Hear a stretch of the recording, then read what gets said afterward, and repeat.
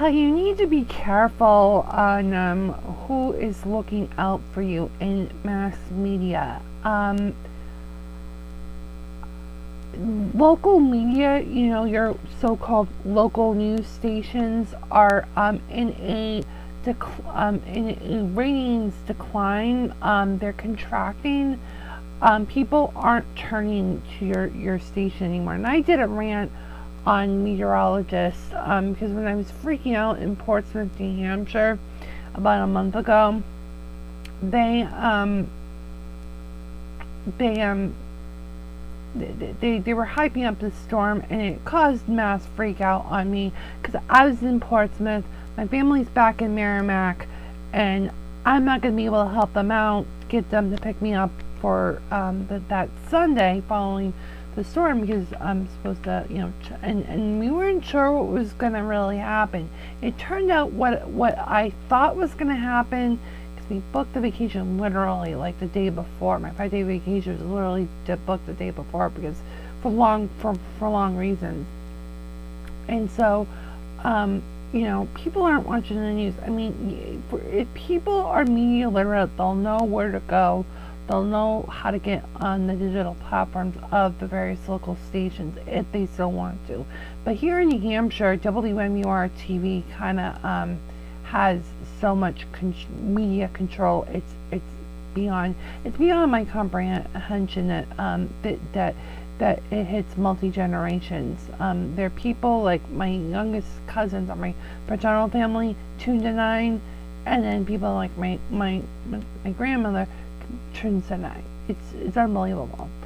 But what I'm saying here is Melanie Black, who's a meteorologist at WHDH TV um, is only it's only been here since December, and um, um, it's really funny because Hisal Martinez, who apparently she replaced, she was you know she she came in, and Hisal left later that month to go at WLS in um, TV in Chicago, the ABC O and O, or should I rather say she had joined the uh, what did the what did um um the anchor say Cheryl, what's her name? Like in her name right now because it's recorded really early in the morning.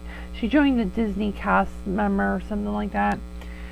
From from the scrappy Bulfinch place to being a Disney cast member, um, because she joined there in January, if I'm not mistaken. Have to look at my anything these guys have. But anyways, as I kind of digress here and just never get to the point of anything, uh, Melanie Black, um, um, um, she has to understand that she's on social media and she's got to engage with her audience, or she chooses to engage her audience. And she really hasn't um, engaged with me, probably because of my title and my news gathering at Minifig News Guy, by the way.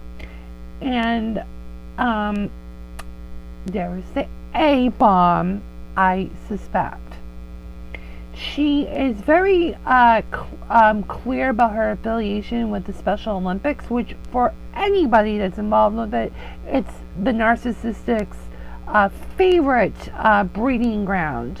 Okay, I'm not. I can't speak if Melanie Black is a narcissist. Um, I'm not in her brain, and I'm not gonna go that far in a public figure. But um, on Saturday, April 1st, no joke, she, um, I tuned to, um, the family was away and, um, for the morning, so I turned the, the big screen on to channel 7 because I think I was, I think I, yes, I think I, I don't know how I got to channel 7 because it wasn't on 7 when I turned it on, but anyways, this is the, you know, the 9, um, this was about 9.15 in the morning, and she's loud, high, and just speedy. And this is a weekend morning newscast. And I couldn't interpret anything that she said. So I posted a selfie of me trying to cover my ears and, and, and, and eyes, but I couldn't do the eyes because, you know, black, um, you know, um, was just, just, uh, just high strung. So I tweeted something along the lines of, um, she's so hot. And I had to be careful I knew that line. I, when I was doing this under a lot of distress, I, I, I made sure I said she's so hot she'd break the VU meters. High, pitchy. She's also very pitchy from how I can interpret her. And again, my perception, my reality is invalid because I'm autistic, even though I didn't say it um, in that in that instance. And so she got back to me um, literally. So, so so I was being a little sarcastic, and I took a picture um, at 9:28. They were going towards the, the the on the bumper, and um, I saw a Dunkin' coffee cup in because the, the weather office and the the display and you're actually rebuilding the the set right now so how much of it is a green screen and from a you know recorded who knows? I don't think the weather center is in that green screen it's only the anchor space. But anyways she I, I made a little reference on it. And then she had the audacity to tell me that um, you uh, keep trolling on me and blah blah blah blah blah with a emoji and then I wrote back and tweeted back at her and, and basically said something and I you really want me to look it up right now it's it's too early in the morning for me it's not even 9 a.m. and I'm recording this but I basically call her out for exploiting um, people with their special um, Olympics. I should have been more prepared. I apologize about this. I'll make it up at the end because I'll, I'll make a kicker. Forgive me.